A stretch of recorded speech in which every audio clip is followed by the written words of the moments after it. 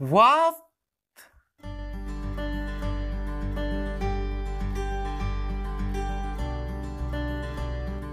Halo teman-teman YouTube, apa kabar kalian? Semoga kalian selalu sehat ya. Eh, kita pasti marah ataupun kecewa, bahkan kesal ya, ketika kita tahu termometer yang baru kita beli tidak bisa lagi untuk mengukur suhu tubuh.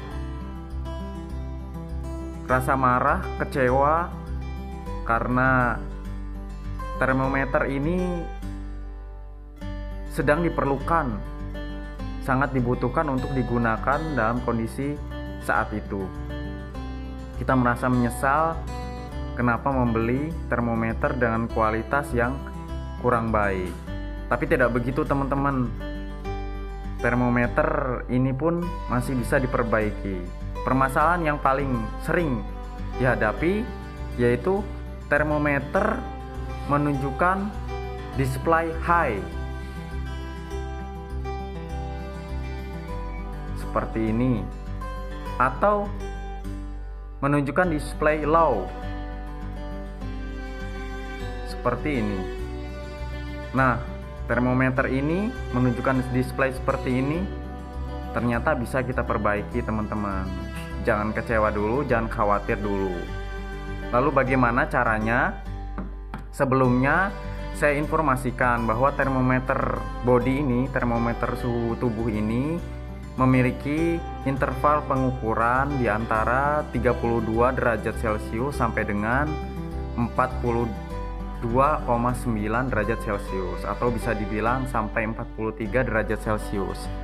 Sehingga ketika termometer ini mengukur suhu di bawah 32 maka display yang tertera adalah low atau ketika termometer ini mengukur suhu di atas 43 maka display akan menunjukkan tulisan high.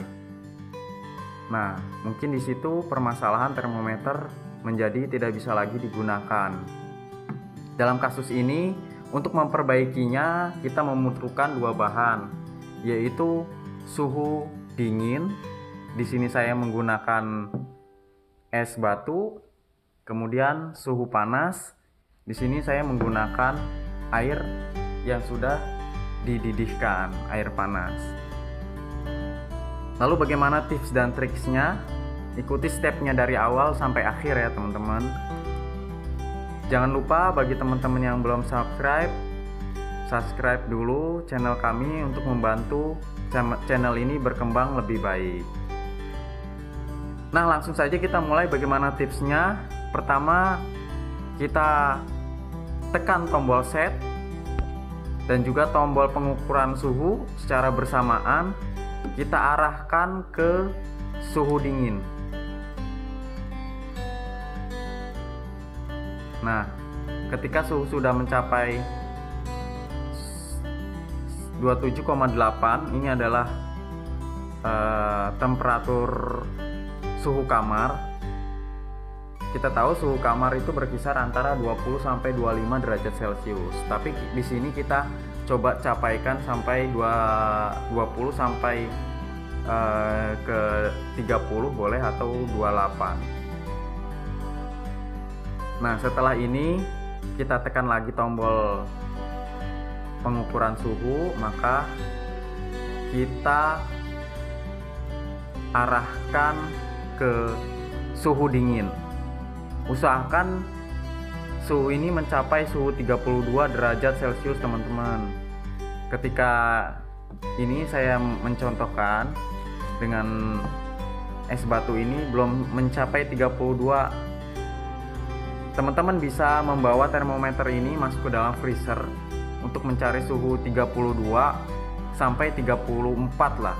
Lebih rendah lebih bagus 32 atau 34 namun di sini saya contohkan uh, karena belum tercapai uh, saya contohkan sampai ke 35 derajat celcius.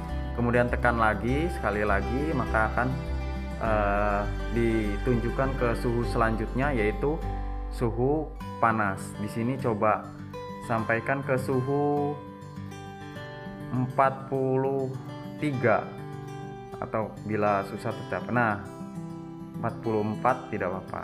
Nah tekan lagi kemudian akan tertulis pas. Lalu display akan mati. Nah di sini termometer seharusnya sudah normal teman-teman.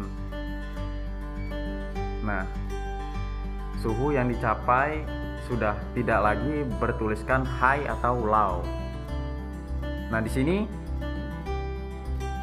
termometer belum selesai untuk siap digunakan karena termometer ini perlu dikalibrasi terlebih dulu teman-teman. Untuk teman-teman yang masih belum tahu bagaimana cara mengkalibrasi termometer uh, silahkan kunjungi video YouTube saya di channel ini kemudian uh, teman-teman bisa pelajari caranya mengkalibrasi termometer infrared atau no kontak infrared termometer. Atau teman-teman bisa klik des di deskripsi nanti saya akan buatkan tautannya. Mungkin demikian teman-teman tips dan trik untuk memperbaiki termometer yang bertuliskan high atau low bila video ini sangat membantu silahkan klik like share kepada teman-teman yang membutuhkan atau silahkan tulis komen di bawah untuk uh, sekedar bertanya-tanya atau memberikan komentar. Terima kasih bagi teman-teman yang sudah nonton dari awal sampai akhir. Dari saya demikian uh, tips dan trik memperbaiki termometer bertuliskan high dan low. Uh, nantikan video-video selanjutnya dari channel saya. Assalamualaikum warahmatullahi wabarakatuh.